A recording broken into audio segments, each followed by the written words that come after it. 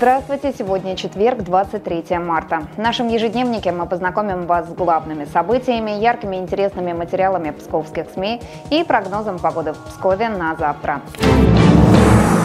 Русские с китайцем снова братья навек. Прощай, Европа. Ремонт Ольгинского моста и транспортные проблемы. Можно ли было их избежать? Смена представителя Псковской области в Общественной палате России. Бессмысленный симулятор или дополнительная возможность для решения проблем отдельных категорий наших граждан. Эти и другие темы в программе «Сообразим на троих» сегодня обсуждали Сергей Васильев, Константин Калиниченко и Александр Савенко.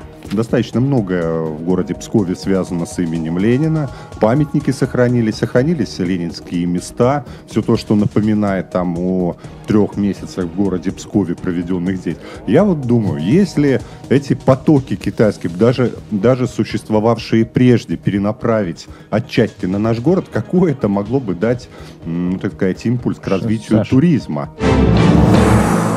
Проблемы городского округа номер 5. Актуальные вопросы, которые рассматривает Комитет Псковской городской думы по социальным вопросам, молодежной политике и туризму. Сегодня в прямом эфире программы «Гайд-парк» обсудили ведущая передачи Любовь Кузнецова и депутат Псковской гордумы Наталья Мельникова. Комитета такая черновая работа. Да, это так и можно сказать. Конечно, безусловно, а, на комитетах именно и прорабатываются эти вопросы с целью того, чтобы принять правильное решение. Для этого и делаются эти обсуждения, да, они не всегда бывают действительно ровными, они, может быть, где-то и не должны быть ровными очень сильно, да, для того, чтобы мы сегодня понимали и поняли, что мы со всех сторон рассмотрели этот вопрос. В России упростили порядок размещения летних кафе. Теперь владельцы ресторанов или кафе смогут без дополнительных процедур оборудовать площадку, примыкающую к основному зданию. Земля под новыми местами должна находиться в государственной или муниципальной собственности и не быть ранее выделенной под другие цели. Подробности на Псковской ленте новостей. Обещание президента Путина о двукратном увеличении квоты на прием в российские вузы студентов из солнечной, теперь особо дружественной нам Африки, весьма актуально для Псков-ГУ. Опорные вузы региона в последнее время славятся наплывом обучающихся из разных восточноазиатских стран, от бывших советских республик до берегов Индийского океана. Легко предположить, что в их ряды органично вольются и африканские гости. Детали в авторской колонке Сергея Васильева.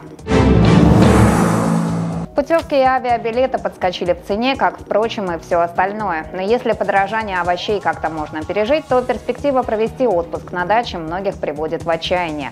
Как бюджетно провести отпуск, не вступив в ряды огородников, рассказывает обозреватель Псковской ленты новостей Ульяна Лавыгина.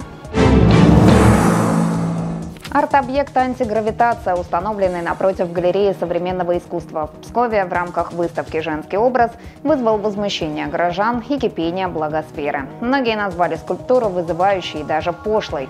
Автор скульптуры Тимофей Силич был удивлен реакцией псковичей, но решил обернуть скульптуру белой тканью, чтобы она никого не смущала. Подробности культурного скандала в материалах ПЛН, МК в Пскове и на ПЛН ТВ. Очередной выпуск проекта «Место встречи» подготовил МК в Пскове. Сегодня мы предлагаем прогуляться по одной из самых необычных псковских улиц. Ее длина всего 200 с небольшим метров. При этом на ней поместились аж несколько памятников архитектуры, среди которых два храма. Один из них – объект всемирного наследия ЮНЕСКО. Речь про улицу Георгиевскую. О погоде в Пскове на завтра. В пятницу 24 марта днем будет пасмурно, возможен небольшой дождь. Температура воздуха от плюс 5 до плюс 11 градусов. Ночью также небольшой дождь от 7 до 8 градусов тепла. Ветер юго-западный умеренный. На сегодня это все. Я прощаюсь с вами до завтра. Ссылки на все материалы, упомянутые в выпуске, вы найдете в описании под видео. Хорошего вечера и до встречи на ПЛН ТВ.